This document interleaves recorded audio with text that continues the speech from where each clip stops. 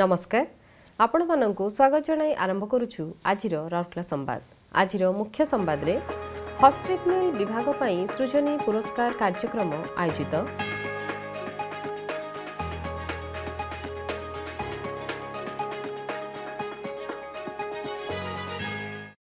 Cell Rourkela ଇସ୍ପାତ କାରଖାନା ଦ୍ୱାରା ସ୍ୱେଚ୍ଛାକୃତ ରୂପେ ସଫେଇ କାର୍ଯ୍ୟଧାରାରେ ସାମିଲ ଗୋଷ୍ଠୀଙ୍କୁ ସ୍ୱଚ୍ଛତା ସ୍ୱାଭିମାନ ପୁରସ୍କାର ପ୍ରଦାନ।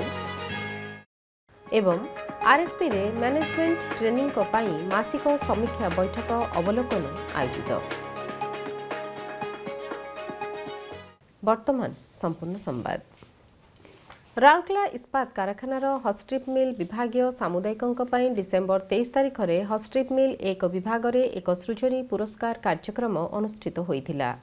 ଏଥିରେ ହଷ୍ଟ୍ରିପ୍ ମିଲ୍ ଏକ ବିଭାଗର ଜିଏମ୍ ଇନ୍ଚାର୍ଜ ଶ୍ରୀ କଲ୍ୟାଣ ସମଜଦାର ଅଧ୍ୟକ୍ଷତା କରି ସୃଜନୀ ଯୋଜନାର ବିଜେତାମାନଙ୍କୁ ପୁରସ୍କାର ପ୍ରଦାନ କରିଥିଲେ। ଏହି ଅବସରରେ ଏଚ୍ଏସ୍ଏମ୍ ଦୁଇ ବିଭାଗର GM Shri Ranjit Gujur Shri R K Singhal HSM ଏକ ବିଭାଗର GM Shri P Pranay Shri P Tudu ଏବଂ ଆଇଇଡି ବିଭାଗର ଏଜିଏମ୍ ଶ୍ରୀ ବିକେ ବେହେରା ବିଭାଗୀୟ ସୃଜନୀ ନୋଡାଲ ଅଧିକାରୀ ବିଭାଗର ଅନ୍ୟ ଅଧିକାରୀ ଏବଂ କର୍ମଚାରୀମାନେ ଉପସ୍ଥିତ ଥିଲେ। ନିଜର ବକ୍ତବ୍ୟରେ ଶ୍ରୀ ସମସ୍ତାର ପୁରସ୍କାର ବିଜେତାମାନଙ୍କୁ ପ୍ରଶଂସା କରିଥିଲେ ଏବଂ କାର୍ଯ୍ୟକାରୀ ହୋଇଥିବା ପ୍ରସ୍ତାବଗୁଡ଼ିକ ମାଧ୍ୟମରେ ହାସଲ ହୋଇଥିବା ସଫଳତା ଉପରେ ଆଲୋକପାତ କରିଥିଲେ କାରଖାନାର ଅଭିବୃଦ୍ଧି ଏବଂ ଉନ୍ନତି ପାଇଁ ସୃଜନଶୀଳତା ଏବଂ ଅଭିନବତା ଜାରି ରଖିବାକୁ ସେ ସମସ୍ତଙ୍କୁ ଅନୁରୋଧ କରିଥିଲେ ଶ୍ରୀ ବେହେରା ହଷ୍ଟ୍ରିପ୍ ମିଲ୍ ବିଭାଗ ତଥା ସାମଗ୍ରିକ ରୂପେ କାରଖାନାରେ ସୃଜନୀର ସ୍ଥିତି ବିଷୟରେ ବର୍ଣ୍ଣନା କରିଥିଲେ। ଉତ୍ସବରେ ମୋଟ ପାଞ୍ଚଶହ ଚଉଦଟି ପରାମର୍ଶ ପୁରସ୍କୃତ କରାଯାଇଥିଲା। ଏହି ସମସ୍ତ ପ୍ରସ୍ତାବ କାର୍ଯ୍ୟକାରୀ ହୋଇସାରିଛି। ଏଥିନିମନ୍ତେ କର୍ମଚାରୀଙ୍କୁ ନଗଦ ଏକ ଲକ୍ଷ ଅଠେଇଶ ହଜାର ସାତଶହ ପଚାଶ ଟଙ୍କାର ପୁରସ୍କାର ରାଶି ଦିଆଯାଇଥିଲା। କାର୍ଯ୍ୟକାରୀ ହୋଇଥିବା ପରାମର୍ଶରୁ ଏକକାଳୀନ ଏକ ଦଶମିକ ଦୁଇ କୋଟି ଟଙ୍କା ଏବଂ ପୁନଃପୌନିକ ଏକ ଦଶମିକ ସାତ ତିନି କୋଟି ଟଙ୍କାର ସଞ୍ଚୟ ସମ୍ଭବପର ହୋଇପାରିଛି। ଉକ୍ତ କାର୍ଯ୍ୟକ୍ରମକୁ ଏଚ୍ଏସ୍ଏମ୍ ଏକ ବିଭାଗର ଏଜିଏମ୍ ଶ୍ରୀ ଏକେ ପୂଜାରୀ ସଂଯୋଜନା କରିଥିବା ବେଳେ ବିଭାଗର ମ୍ୟାନେଜର ଶ୍ରୀ ସୁମିତ ବର୍ମା ଧନ୍ୟବାଦ ଅର୍ପଣ କରିଥିଲେ। ସେଲ୍ ରାଉରକେଲା ଇସ୍ପାତ କାରଖାନା ଦ୍ୱାରା ଦୁଇହଜାର ତେଇଶ ଦୁଇହଜାର ଚବିଶ ଆର୍ଥିକ ବର୍ଷର ତୃତୀୟ ତ୍ରୟମାସ ନିମନ୍ତେ ସ୍ୱଚ୍ଛତା ସ୍ୱାଭିମାନ ପୁରସ୍କାର ସମାରୋହ ଜାନୁଆରୀ ଦୁଇ ତାରିଖ ଦିନ ସିଭିକ୍ ସେଣ୍ଟରଠାରେ ଅନୁଷ୍ଠିତ ହୋଇଯାଇଛି। ଏହି ଅବସରରେ କାର୍ମିକ ଓ ପ୍ରଶାସନ ବିଭାଗର ନିର୍ବାହୀ ନିର୍ଦ୍ଦେଶକ ଶ୍ରୀ ତରୁଣ ମିଶ୍ର ମୁଖ୍ୟ ଅତିଥି ଭାବେ ଯୋଗଦେଇ ଉତ୍ସବରେ ଅଧ୍ୟକ୍ଷତା କରିଥିଲେ।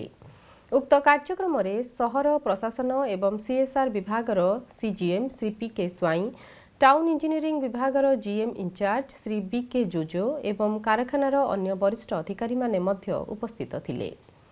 ଶ୍ରୀ ମିଶ୍ର ନିଜର ବକ୍ତବ୍ୟରେ ସ୍ୱଚ୍ଛତା ସ୍ୱାଭିମାନ ଯୋଜନାର ବିଜେତାମାନଙ୍କୁ ଅଭିନନ୍ଦନ ଜଣାଇବା ସହ ସହରର ସ୍ୱଚ୍ଛତା ସହ ଜଡ଼ିତ ପ୍ରତ୍ୟେକ ଦଳର କଠିନ ପରିଶ୍ରମକୁ ପ୍ରଶଂସା କରିଥିଲେ।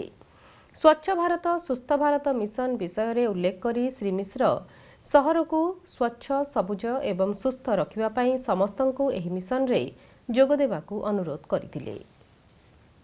ଲୋକସମ୍ପର୍କ ବିଭାଗର ସିନିୟର ଟେକ୍ନିସିଆନ୍ କ୍ୟାପ୍ଟେନ୍ ନିରଞ୍ଜନ ଧଳଙ୍କ ନେତୃତ୍ୱରେ ଗ୍ରୁପ୍ ଏକ ପ୍ରଥମ ପୁରସ୍କାର ବିଜେତା ହୋଇ ତିରିଶ ହଜାର ଟଙ୍କାର ପୁରସ୍କାର ରାଶି ଓ ଟ୍ରଫି ହାସଲ କରିଥିଲେ।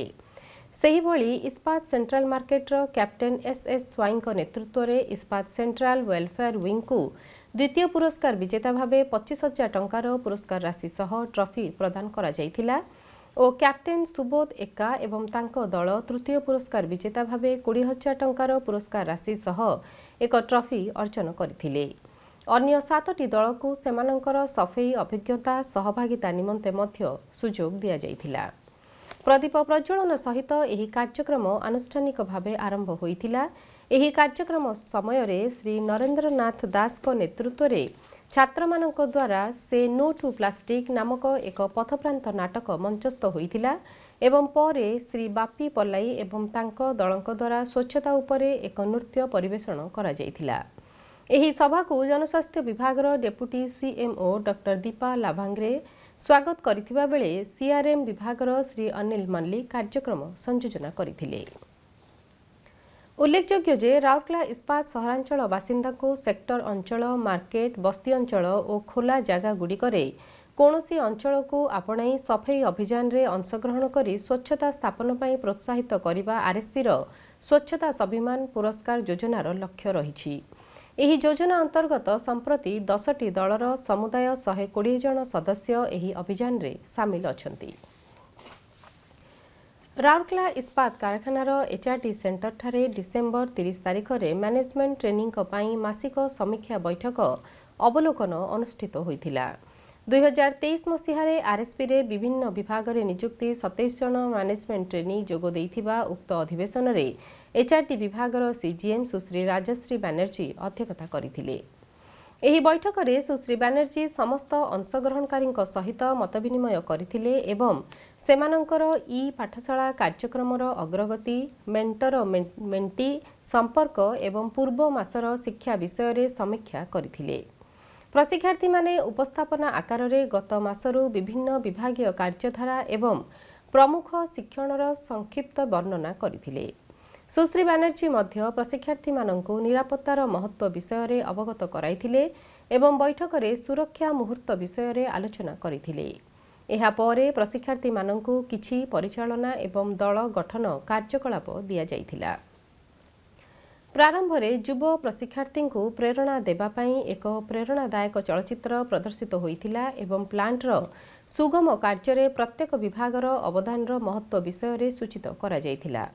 ଏହି ଅବସରରେ ଆର୍ଏସ୍ପିର ଆର୍ଥିକ ଏବଂ ଉତ୍ପାଦନ ପ୍ରଦର୍ଶନର ସମୀକ୍ଷା ମଧ୍ୟ କରାଯାଇଥିଲା। ଏଚ୍ଆର୍ଡି ବିଭାଗର AGM Shri K K Jaiswal ଏହି ବୈଠକ ସଂଯୋଜନା କରିଥିଲେ।